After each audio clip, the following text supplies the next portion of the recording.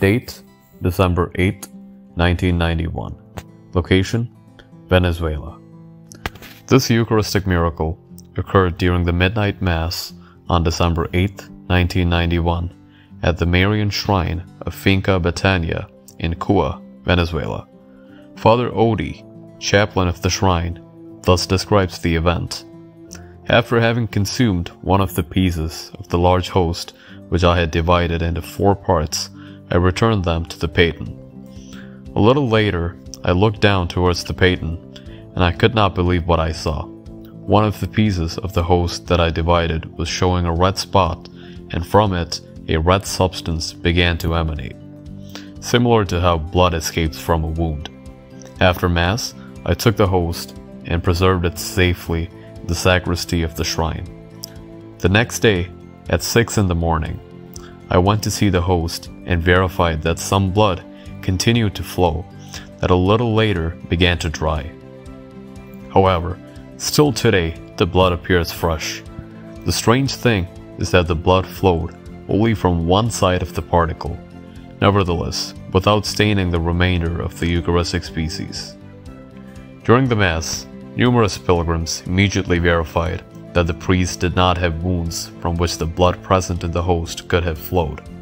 Besides, from the analysis, the result concluded that the blood of the priest did not match one of the particles. The host of the miracle was subjected to some special studies requested by the Bishop of Los Teques, His Eminence Most Reverend Pio Bello Ricardo, and the results confirmed that the blood was human blood type of AB positive, which matches the one found in the cloth of the Shroud of Turin and in the host of the Eucharistic miracle of Lanciano that occurred in Italy in 750 AD and was analyzed by 500 commissions of the World Health Organization. Since then, the host has been an object of veneration and devotion on the part of thousands of pilgrims coming not only from Venezuela but from all around the world.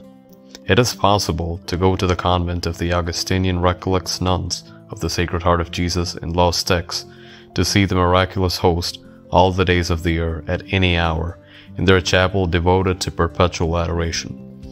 A young faithful from New Jersey, Daniel Sanford, having gone on a pilgrimage to the convent of the Augustinians to see the bleeding host, was able to film another miracle.